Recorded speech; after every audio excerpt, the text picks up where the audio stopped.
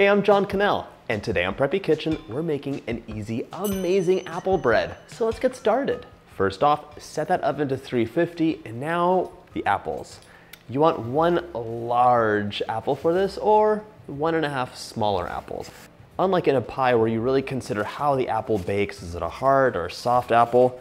This doesn't matter because you can grate these, you can cut them into chunks, and they're really going to soften up and just give their flavor to the bread. So you could use a Honey Crisp, a Cosmic Crisp, a Granny Smith, anything you'd like, even a Red Delicious, if that's what you want to do. Oh, right. Coring your apples is always a good idea. Just ordered an apple corer, but it's not going to be here for a bit. So I'm using a cannoli form. Now, using the large side of your grater, just grate that apple up. This is like zucchini bread, but in my opinion, it might just be the most delicious thing for the fall. We're gonna give a special treatment to the top of our bread and make it amazing. The last time I made this bread, I had the perfect, like stereotypical large apple. And today I was like, wait a second, these are all medium-sized apples. What am I gonna do? That's 100 grams of grated apple. So I think once I cut it in half, you want like 170-ish grams of apple. Earlier, I mentioned that you could grate your apple or chop it into chunks. I'm gonna do both today, so I'll have a little bit of apple throughout, but I'll also see some beautiful jewel-like chunks sprinkled here and there. Cutting them into smaller pieces, almost like you were dicing an onion. Perfect. Now we can keep our scale, put the apple aside, and get those dry ingredients together. Into a large bowl, I want one and a half cups of all-purpose flour. That's 180 grams. And did I tell you, this recipe is a one bowl recipe. Everything mixes up right here. It's so easy to make. You'll be making this over and over, especially when apples are in season. Now I want half a cup of granulated sugar, that's 100 grams, and half a cup of brown sugar. Sugar, my teeth whistled. Sugar. If you're storing your brown sugar in a canister, marshmallows will help keep it soft. I got so tired of having lumps in my brown sugar because I was packing it into a measuring cup I decided I'm not gonna do that anymore. Just gonna use the scale and my life will be so much easier. Now I want three quarters of a teaspoon of cinnamon. You have to have cinnamon with apple. It's not even an option. Half a teaspoon of baking soda. This needs an acid to react with. Luckily, the acid is in the apples and the brown sugar. One quarter teaspoon of, I was say brown powder a quarter teaspoon of baking powder. There we go. Grab a microplane and we're gonna have a quarter teaspoon of grated nutmeg. I love grating my own nutmeg. Ah, ah. I love grating my own nutmeg. It has so much just like flavor and vibrance when it's freshly grated, but you could definitely use the powdered stuff too. Ah. Slippery.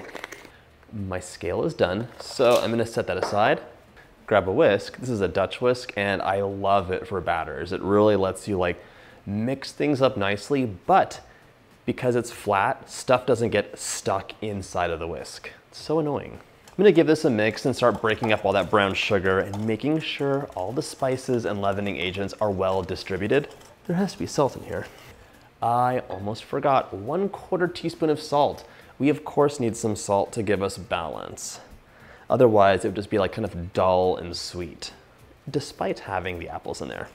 I'm strategizing on how to use as few bowls as possible because I do have to melt some butter and I can't melt it in my hands. So into a small bowl, I'm adding my stick of room temperature butter. It's gonna melt over half power, like 30 second bursts. And I like to keep the paper on top because if there's a butter explosion, it helps contain the mess. So melt it up melt it up. All microwaved up, pour your butter right into the dry mixture. Two large room temperature eggs, add them right into that bowl. Makes me so happy when I can do less dishes. Ah. Give them a quick mix. They also get added right into your batter. Now we're gonna stir this together. And I'm warning you, the batter is gonna be like thick and weird, but the apples are gonna go in and they're gonna release their moisture immediately and really make this an amazing, luscious bread. I'm like, cup bread. All right, stir this until it's almost combined. It's okay if you see some flour here and there. That looks great. And you can see so thick. You're like, what is this nonsense? Trust me, it's gonna work out. You have one more choice though, my friends. Here's the deal. Do you want a soft, lush, amazing apple bread? Or do you want a soft, lush, amazing apple bread with crunchy nuts inside? I love having walnuts or pecans or both in mine. So let's grab half a cup or about 60 grams of nuts and just give them a quick chop. I'm using walnuts today because I love walnuts and apples, even though pecans are my favorite. And if you don't know how to toast nuts, oh my gosh, it's so easy. Pop them onto a flat thing. Pop them onto a saute pan and over medium heat, heat them up, mixing often until they start smelling. It's gonna be about five minutes. Or you can pop them onto a baking sheet and bake them for maybe eight minutes, but mixing them every couple of minutes. You mix them because they burn quick. Now we can add in our amazing apples. This is actually really good with Granny Smith apples, even though those aren't my favorite because they're so tart, they add like a lot of zing to the bread. But Honeycrisp is great too. I'm also adding in my nuts. Just pop those right in. It's like so weird to me that it's like just all done in one bowl, but it's for ease of use. Oh wait, I forgot to tell you. So I was looking up the history of apple bread so I'm always wondering like, where do these things come from? What's the deal? And I knew it couldn't be that old because it uses baking powder and baking powder is fairly new. It's like from the 1800s, which is not that long ago, I tell you. Anyways, apple bread was a thing, but it was a thing for people to do with yeasted breads. So like imagine making a normal bread, but you wanna save on flour because milled flour is so expensive. And the cheats people would do would be to use like potatoes or to use apples. And you make this bread with like basically applesauce. They would mush the apples up and it would be yeasted and slightly sweet. And you know, it was fairly popular, but it was also a thing of hardship. It was really because you couldn't afford to use all flour because flour was just dear. This looks great. It's softening up already. And I hope you can see that the apples are just releasing their liquid immediately into this and making it delicious and soft. This little cutie bakes up in an eight by four inch loaf pan. This is more like a traditional pound cake loaf pan. Most of the time we're using a nine by five, but I just wanna show you, it's fairly different. See all that, ah, see all that extra space? You can use this loaf pan. I would reduce the cook time maybe by five minutes. It will be flatter though. Still gonna be delicious. Use our extra butter paper. A little bit of butter on the sides, more on the ends. I don't normally just use the butter paper because it can be really hit or miss when you're doing cakes, but for loaf pans, it's nice. Especially because we're gonna have a magical piece of parchment paper that goes right in here and has beautiful little handles that we can use to lift our loaf pan out with ease. It'll be so amazing. it has beautiful little handles that we can use to lift the loaf cake out, the bread, um, and it'll just make everything super easy, no stress, and the cleanup's better too.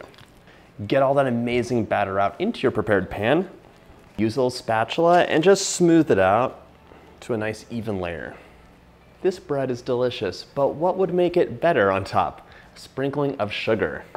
Whenever you finish a quick bread off with a sprinkle of sugar on top, it's giving it a nice crunchy crust. It's so nice to bite into and have that play of textures. Just sprinkle it on top and you can do like a tablespoon and a half. If you keep adding more sugar, it's just gonna be on top and fall. So a tablespoon and a half is more than enough.